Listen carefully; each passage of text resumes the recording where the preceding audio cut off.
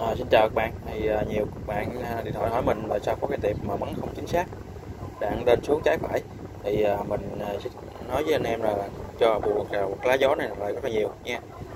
Anh em mà sợ lá gió nó mòn hay là làm bằng trọng lực hơi nó không ổn định nó lực mạnh nó yếu thì đạn nó không chính xác được nha. Đó thì à, lá gió nội mình á đường kính nó nhỏ nó gió nhập nha. Thì hàng nhập với hà nội làm sao phân biệt được? Cầm hai lá gió lên nè thì hàng nhập là sao? Cái đốc số nha cái số này chất liệu nhựa là những cái viền nó trong khe thấy không? Nó dài hơn nhưng đỡ cái nhựa tốt hơn. Nha.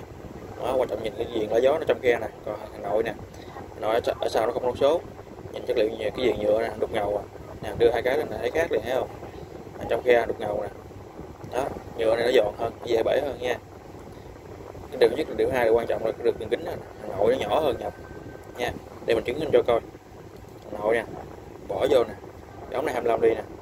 Bỏ vô nè thấy không? Cổng le thấy không? Còn cái hàng nhập viên nè. Có số nè. Cái gì ở trong khe nè. Nha bỏ vô nè. Đó, đẩy vô rất là, rất là rất là cứng. Thấy không? Rất là cứng. Cái tỏ đường kính này lớn hơn nhập lớn hơn. Nên mua nên mua chọn lấy viên đi. Nếu mà cái, cái, cái lòng nó mòn. Còn em mà xài viên mà về mà nó hơi lỏng cái gì đó lỏng nhiều quá đó mình sẽ lấy gió silicon tăng cốt lớn lên. 53 54 làm rưỡi được hết luôn nha. Tăng lớn lên cho nó khích thì nó khích được hơi ổn định đó nó mới chính xác được. Cho nên mà lúc mạnh lúc yếu là nó hở hơi rồi, nó không được nén được đạn không căng được, thì ra không chính xác được. Đó, thì bên mình có chuyên gió gió nhập thôi, chứ hà nội quýt bán lắm nha. Nhập thì chất lượng nó tốt hơn. Đó, có tem đầy đủ luôn nha. Rồi anh em cần alo số nội để mình tư vấn cho, nha.